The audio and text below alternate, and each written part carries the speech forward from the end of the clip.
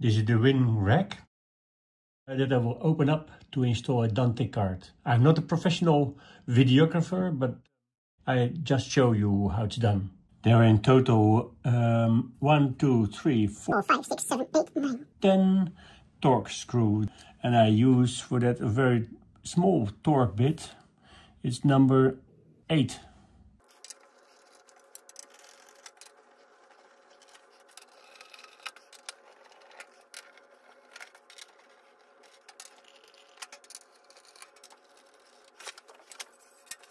So let's see what's inside.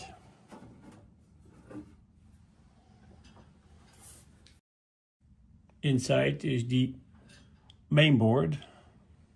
The main board. That's where the uh, Dante card will be seated. Many will say that it's not necessary to wear a wristband for ESD. I want to put on my wristband first because I think it's important. So I have here a Brooklyn 2. I took it from my wing. Um, I'm connected with an ESD cord. I think it's important. Other people say it isn't. The um, holder for the card is slightly different than in the wing. This is not a tilting card holder. Now you can slot it in.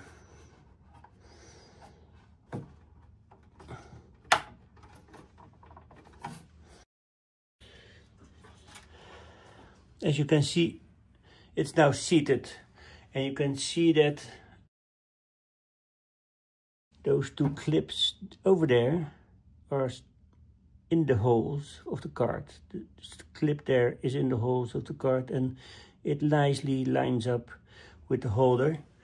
That's all. That's all you need to do uh, for the hardware installation. Let's see if we can zoom in a little bit.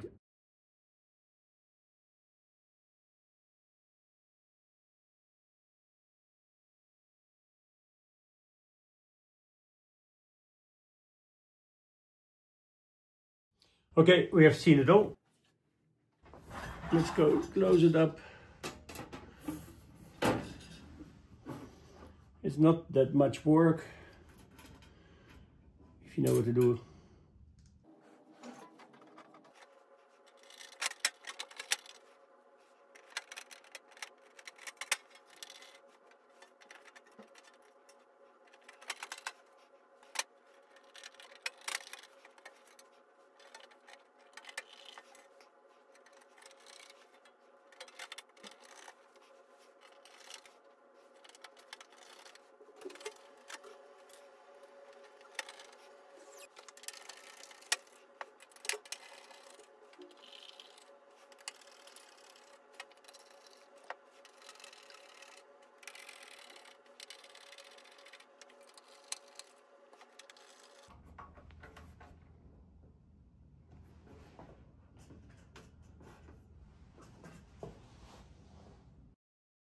Now let's see if it works.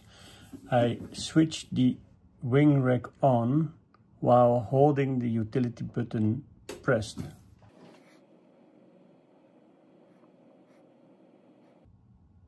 There it is. And then mod. Dante. Apply. And look, there it is, Dante. Now I have to switch the wing off and switch it on again. So setup, shut down, confirm. Switch it on again. There it is. Um, that's the home screen setup. Done this there. If now go to routing, and then we go to um, sources, Dante, then we see that we have all the Dantes. And if you go to output, um, then we have also Dante. Oh, good. So this is um, all about installing Dante card internally. Hope you enjoyed it. And um, if any comments, then uh, leave them below. Thank you very much.